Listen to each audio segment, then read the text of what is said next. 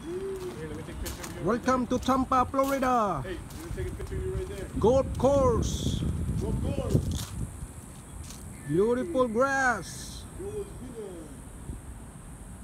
Bermuda. Dito tayo magpalipad ng ibon. Hey, you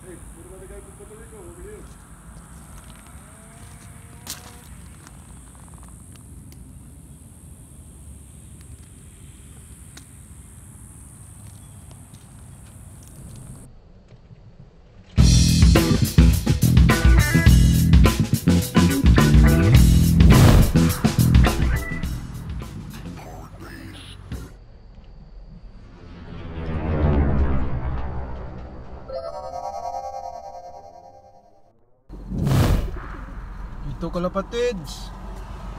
Tuwas na naman. Binalik ko sila dito sa ano, 45 miles. Sa east. Kasi medyo matagal sila bago lumating. Yan oh. Lumating sila, uh, nano nila, linipad na ng isang oras kalahati. Kaya ito, ulitin ko dito. Bukas, pag maganda yung ano, yung may hook pa namang nakaabang oh. may hook ah. Andyan sa dulo, may hook, nakaabang na oh. Yan oh, baga pisto niya yan. May hook. Kaabang siya kalpatids. At saka dalawa, nawalan tayo ng dalawa. 37 na lang sila. Sige kalapatids. Sit up ko lang to, karating ko lang dito. Tapos, kawalan na natin, bahala na yung hook dyan. yung pisto na talaga yan oh.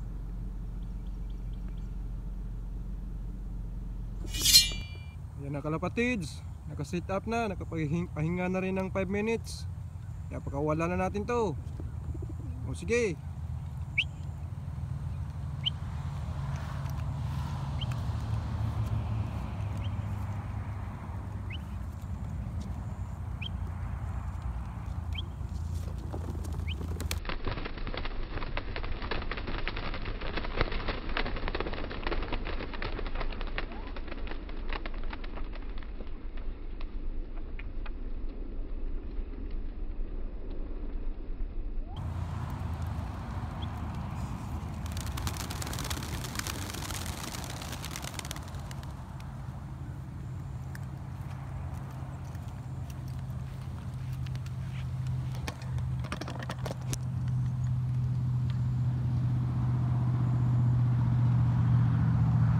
Pa rin.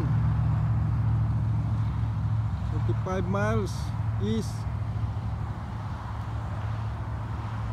Alam na nilang lugar to kasi dalawang beses na dito.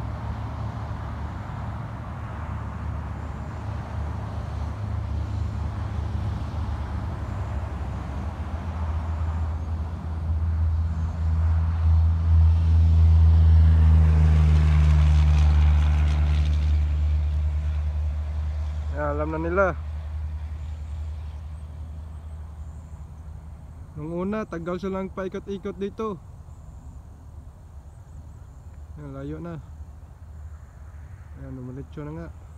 Ano na, sa dulo, dumiretso na. Ayan kapatid, dumiretso na sila. O sige, uwi na rin ako.